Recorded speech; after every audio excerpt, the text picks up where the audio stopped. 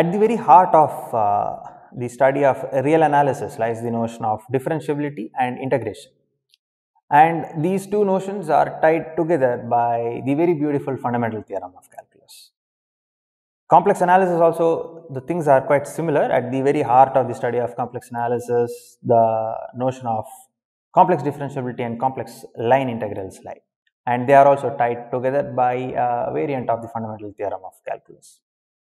There is a further variant of this fundamental theorem called the Cauchy's theorem, which lends certain amount of rigidity to complex differentiable functions, thereby making the theory very beautiful. In this lecture, we will define complex differentiability and explore some of its properties. So, let us begin by recalling the notion of uh, differentiability over the real numbers. So, recall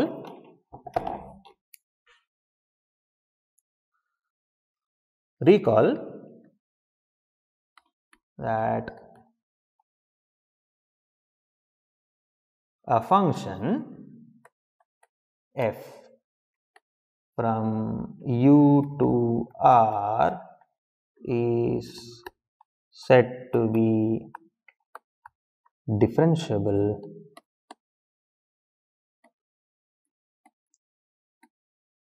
at a point Oh, so what is u? Uh, u contained in R. At a point x naught in u, if uh, x naught is an interior point of u,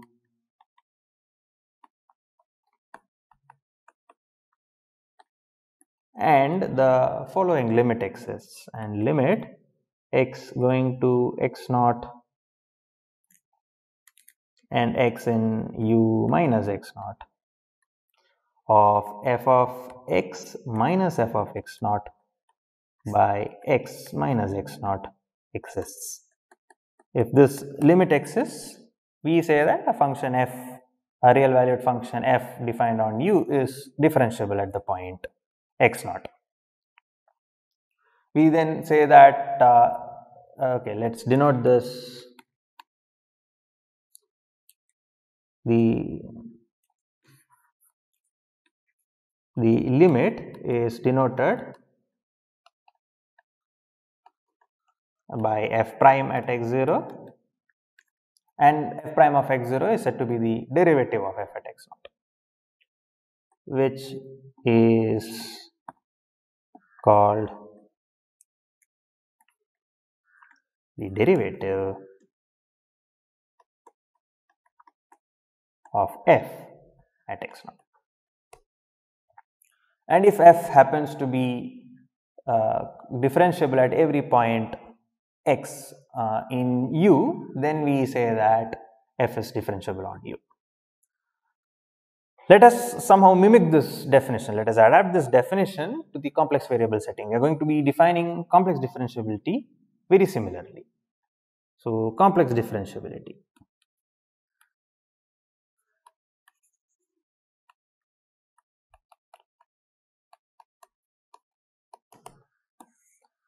So, let omega be a subset of C and F be a map from omega into C. Let us consider a complex valued function on omega.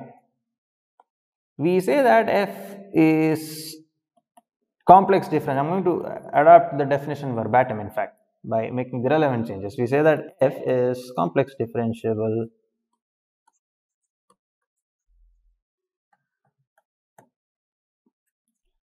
at a point z naught in omega if z naught is an interior point.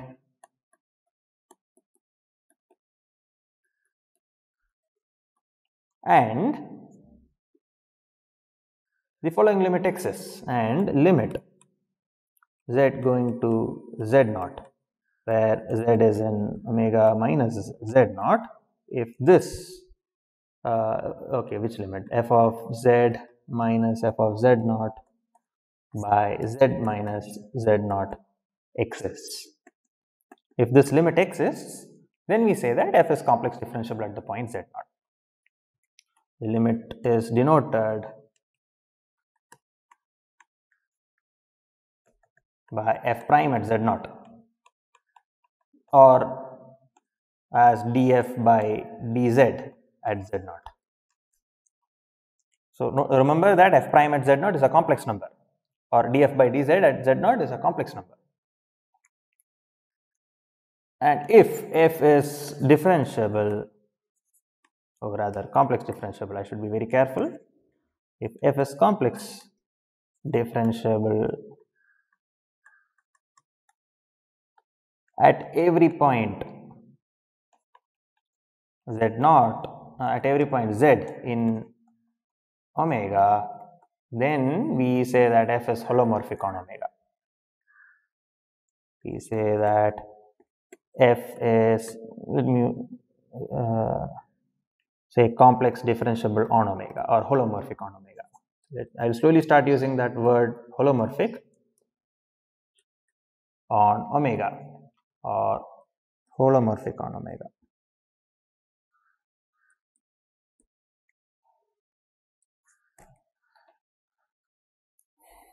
There are variants of this particular definition.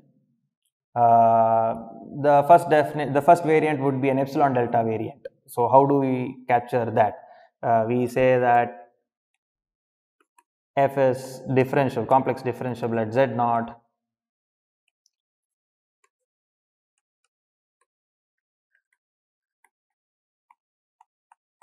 if there exists a complex number f prime at z naught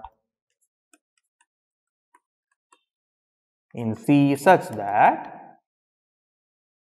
absolute given epsilon positive and given epsilon positive there exists delta positive such that the disk of radius z naught sorry disk of radius delta around z naught is contained in omega and absolute value of f of z minus f of z naught by z minus z naught minus f prime of z naught is less than epsilon whenever 0 is less than mod of z minus z naught is less than delta.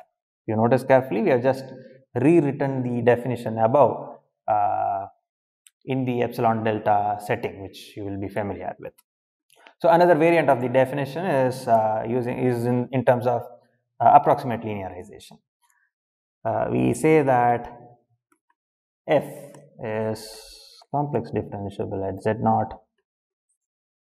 So, the setting is the same I am not writing the setting again and again f is a complex valued function from omega into uh, c and z naught is some interior point in omega.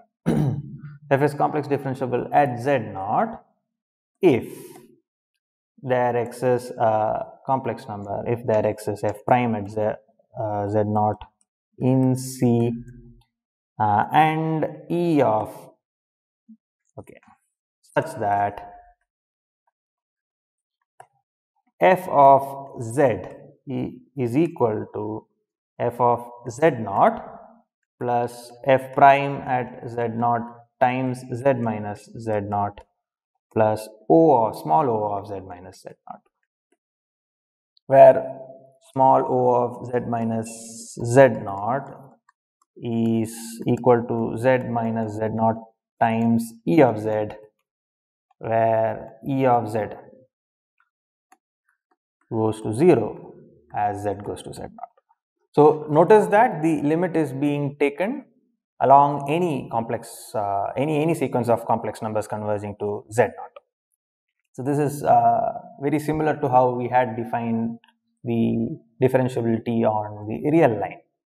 And some of the consequences there immediately carry forward here as well. So for example, if a function is complex differentiable at a point z naught, then the function is necessarily continuous. Let me make that uh, observation. Uh, maybe a lemma if f from omega to c is complex differentiable at omega contained in c at the point z naught in omega then f is continuous at omega at, at z naught.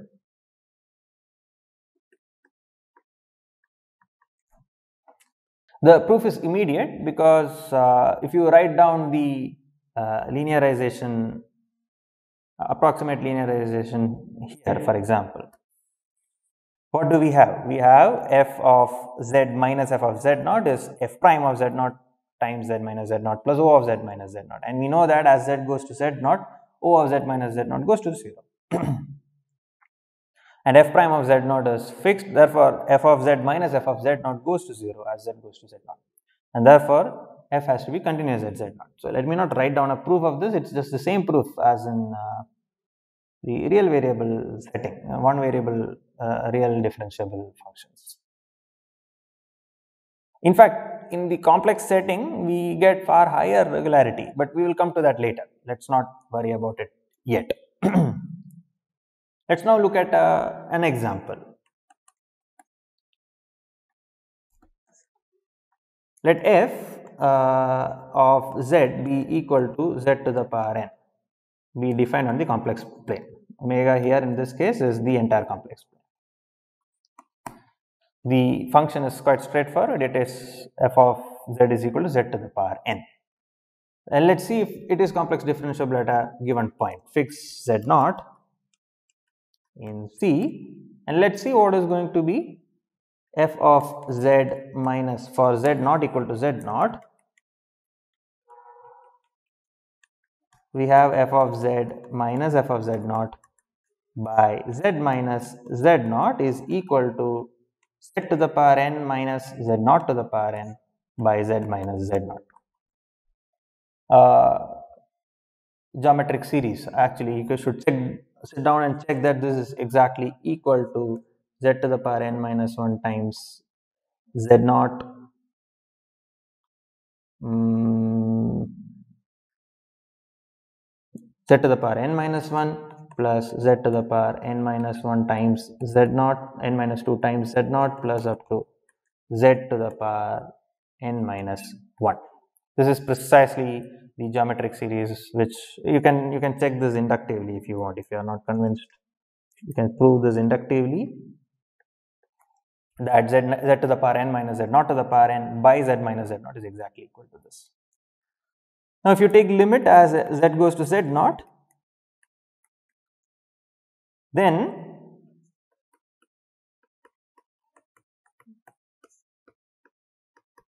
this is going to be the limit of this which is going to be z naught to the power n minus 1 plus z naught to the power n minus 1 plus up to z naught to the power n minus 1 and each of this is contributing once there are n terms.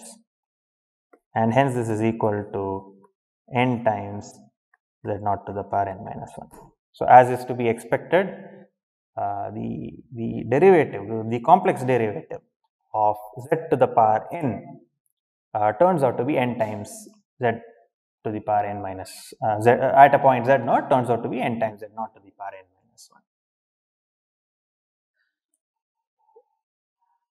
So, as is to be expected the uh, laws of calculus they actually carry forward to complex differentiable functions as well. For example, the uh, linearity property is satisfied if you look at uh, so let me write that down laws of calculus are satisfied. So, for example, the same proof actually goes through. Uh, if f comma g are functions from omega contained in C to C uh, are complex differentiable at a point z naught.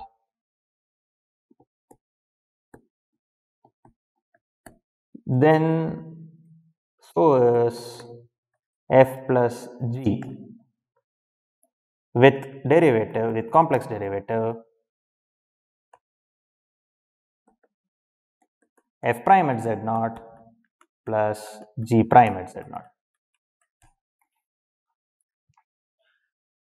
Uh, this is the additive property if c belongs to omega sorry if c is some complex number and uh, if we consider c times f then C times F is also complex differentiable at Z naught and C times F the derivative of this at z naught is just going to be c times f prime at z naught. So, the proof is exactly similar to the way we prove it in the real variable setting. So, I would uh, refer you to a, a, a proof uh, in say for example, principles of mathematical analysis Rudin and uh, I'll request you to sit down and give a very similar proof in this complex variables setting as well. It should go through very similar proofs should go through. Well, not just the uh, linearity property, the product rule also holds. Uh, if f and g are maps from omega to omega be again some subset of c into c be complex differentiable at a point z naught in omega, then fg is complex differentiable at z naught with derivative f prime at z naught times g prime uh, g at z naught the usual Leibniz rule plus g prime at z naught times f of z naught. So, the usual product rule, this is called the product rule, right? I will call the product, it's the same thing here. The first one was linearity, right?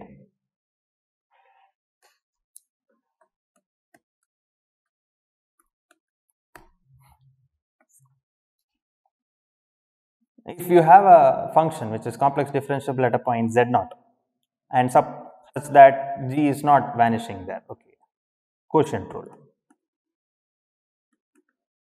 Again, I will leave the proof to you, it is ex exactly similar to the real variable setting. If g, if f is, uh, if both f and g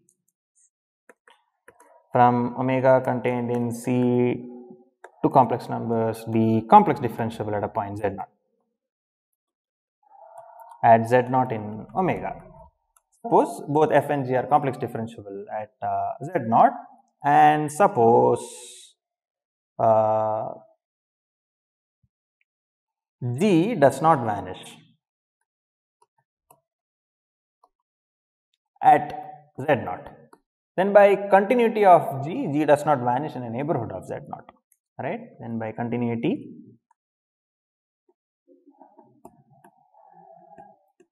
g does not vanish in a neighborhood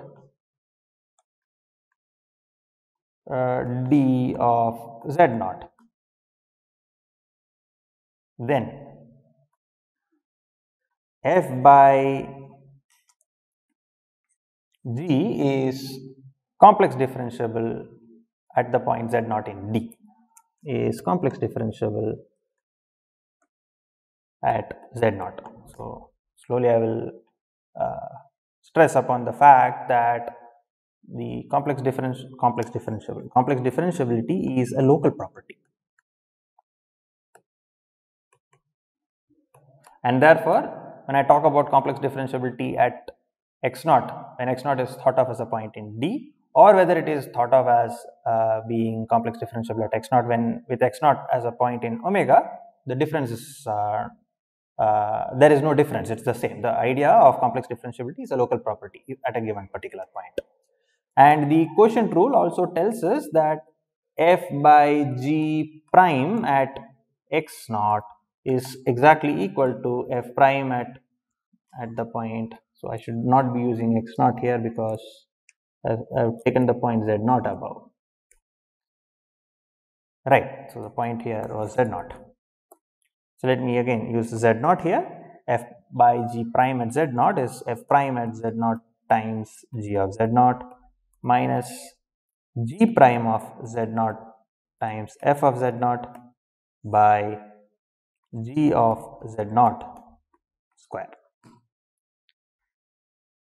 This is the product rule. Again, the proof is going to be similar there. And uh, finally, let me also talk about the chain rule.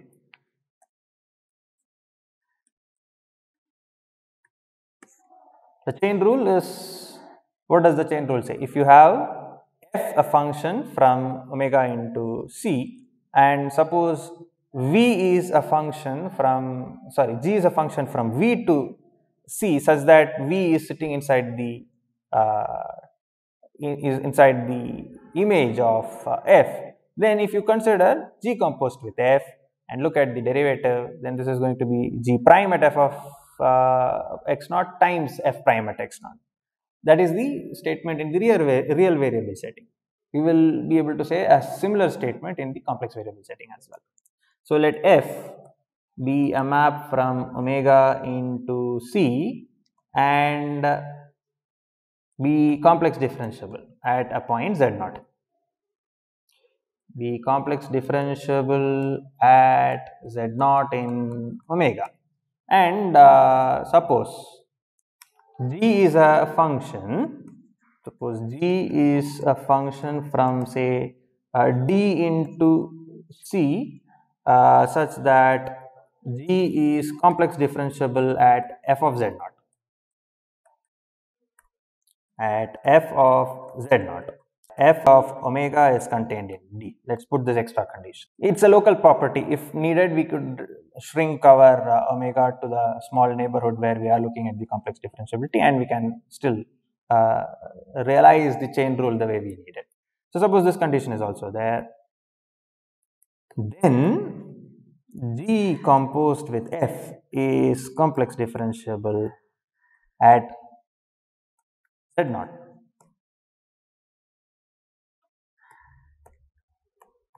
And further, G composed with F prime at Z naught is equal to as is to be expected G prime at F of Z naught times F prime at Z naught.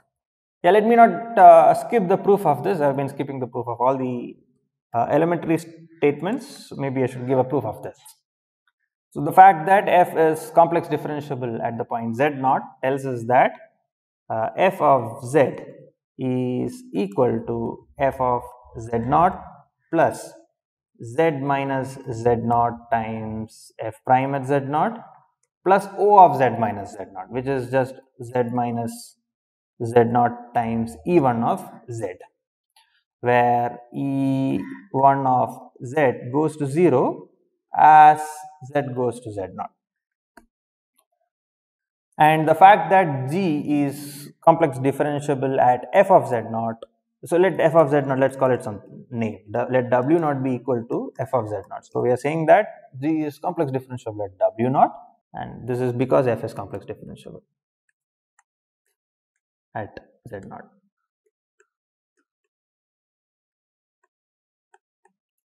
there exists f prime at z naught and e1 of z such that this happens. Similarly, since g is complex differentiable at w naught,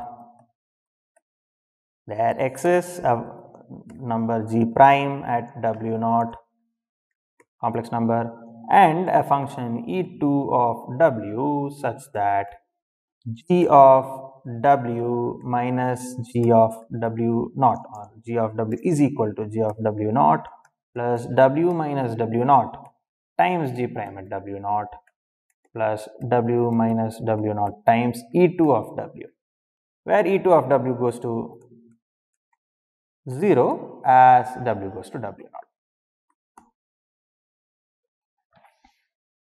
Now let's approach W naught through f of z where z is a sequence. So since f is uh, differential, complex differentiable at z naught, it's also continuous at z naught.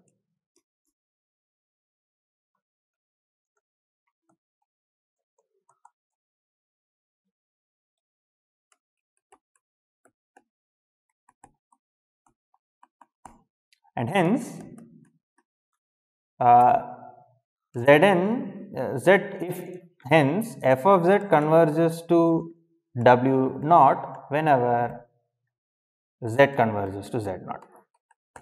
So, let us look at one such sequence of uh, points z converging to z naught and then we see that g of f of z. So, that sequence is equal to g of f of z naught is precisely what w naught is plus f of z minus f of z naught times uh, g prime at f of z naught plus f of z minus f of z naught times e2 of f of z.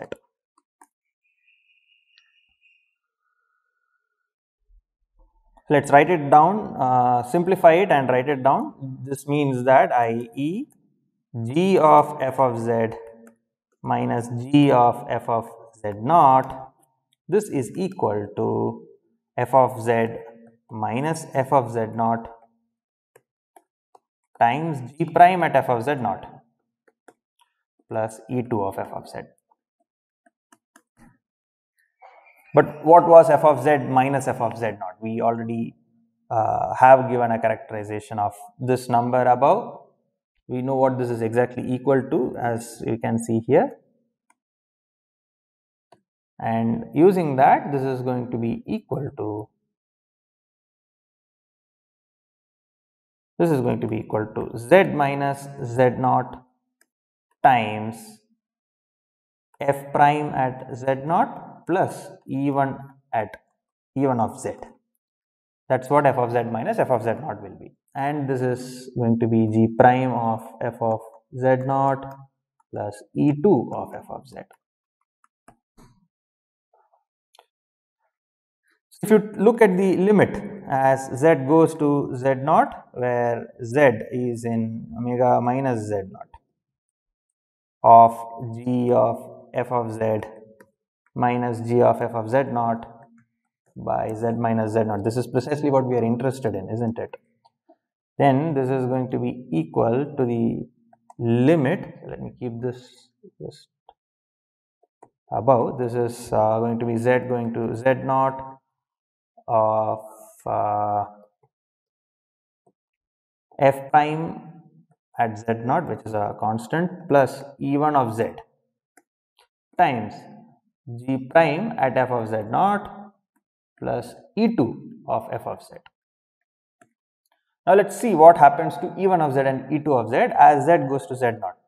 The e1 of z uh, term uh, approaches 0 because as z goes to 0 e1 of z goes to 0 and because f is continuous as z goes to z naught f of z goes to w naught and we know that e, e2 of uh, uh, z e2 of w approaches 0 as w goes to 0 and therefore this is equal to f prime at z naught times g prime at f of z naught and this is precisely what we had set out to prove.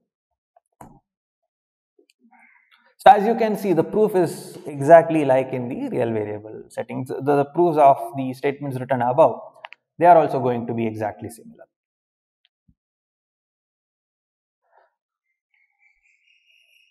Functions which are complex differentiable on the entire complex plane are called entire functions. So, let me just note that down that is a special name given to functions which are complex differentiable on the entire complex plane. Functions which are complex differentiable in on C on the entire complex plane are called entire functions. So, the example which I gave above, so for example, z going to z to the power n is an entire function, we just checked that above, isn't it? And now having all the laws of calculus for complex differentiable functions as well, we can say that uh, any polynomial in Z is an entire function by using the laws of calculus above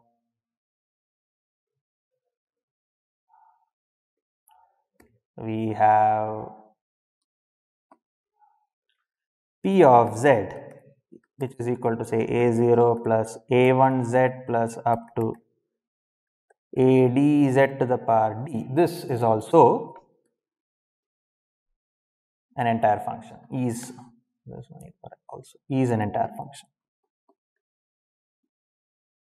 In fact, we know explicitly what the the derivative of p at a point z naught is by the laws of calculus, isn't it? p prime at a point z naught, this is going to be equal to a1 plus 2a2 times z naught plus d a d z naught to the power d minus 1. This is precisely what the derivative is going to be because we are going to use the linearity property to establish this. So, the polynomials are entire functions. More examples, uh, we also defined rational functions. So, let r of z be equal to p of z by q of z. And we had noted that uh, this was defined uh, on a set where q does not vanish, on omega where q of z is not equal to 0. So, q remember that q is a polynomial and because of that it will have a degree say d and there should be less than or equal to d roots of q and therefore uh, omega can be thought of as c minus finitely many points which is an open set. Now, q of z not equal to 0 by the quotient rule r of z is uh, a complex or holomorphic function by the quotient rule. I will slowly start using the word holomorphic when I want to talk about uh, the complex differentiability on an open set. So, the quotient rule tells us that R of Z is holomorphic on omega.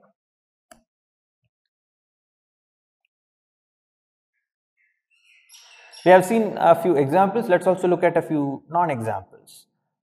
Let us consider the function which is the conjugate. Consider f of z being equal to z bar. We will see that this is not uh, complex differentiable at any point. So, fix a point z naught. Then what will be f of z minus f of z naught by z minus z naught. This is just going to be equal to z bar minus z naught bar by z minus z naught.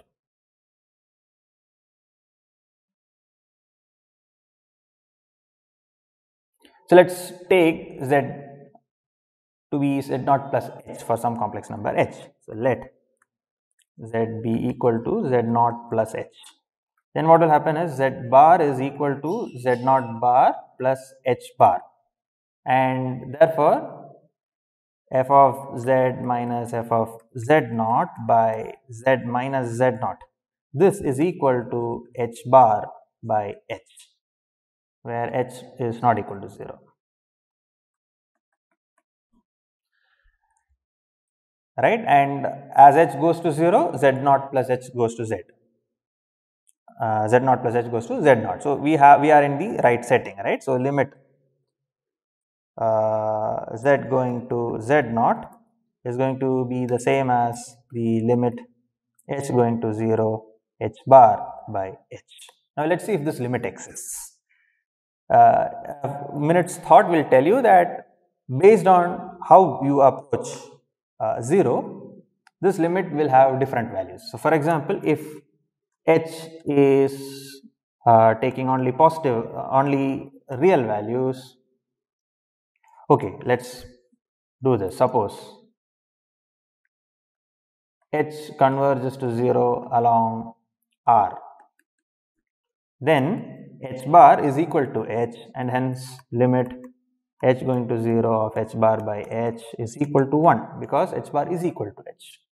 And suppose the, this is the real axis okay? And suppose h goes to 0 along uh, IR the, the imaginary axis. Then h will be something like i times x where x is a real number.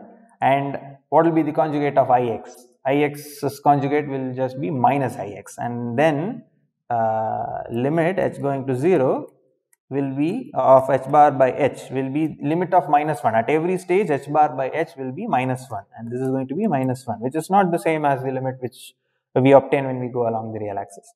At any point z naught at any point z naught on the complex plane you take, you fix any z naught, we can show that the limit uh, of uh, the uh, uh, ratio f of z minus f of z naught by z minus z naught does not exist. So, this is a function which does not have uh, a complex derivative at any point. Let us now consider the function uh, f of z equal to absolute value of z square. Let us see what the situation there is. This is going to be absolute value of z square as a function is just z times z bar. So, notice that there is a z bar already featuring in, you should start questioning whether this will have uh, a valid uh, limit. Uh, at again, let us fix a point z naught, then f of z and z be equal to z naught plus h. Then f of z naught plus h, this is just z naught plus h times z naught plus h bar and that is going to be equal to the absolute value of z naught square plus the absolute value of well, h h bar plus h z0 bar plus h bar z0. So, if you look at f of z naught minus uh, plus h minus f of z naught, this is going to be equal to h h bar plus h z naught bar plus h bar z naught. And if you look at the ratio of z f of z minus uh, f of z naught by z minus z naught, z minus z naught remember is equal to h and we have this is equal to h bar plus z naught bar plus h bar by h times z naught. And a similar argument as above tells us that along r along the real axis we have this converges to uh, z bar z naught bar plus z naught and along imaginary axis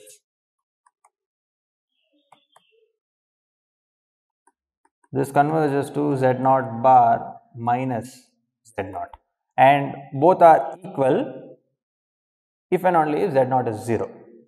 So, at any point away from uh, the origin the complex differentiability fails for this function. We will see more examples of complex differentiable functions in the form of uh, power series. Power series are those functions which are an infinite version of uh, polynomials uh, in the disk of uh, convergence where it, it does converge polynomials and power series have many many similarities. So, we will look at Uh, the notion of power series in the next week.